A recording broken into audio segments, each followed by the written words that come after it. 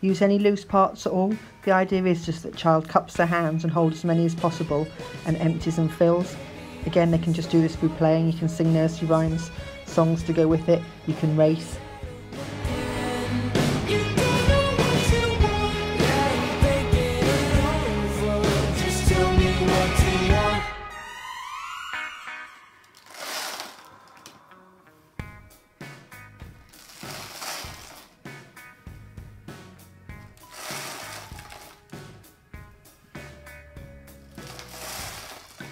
See it clearly now.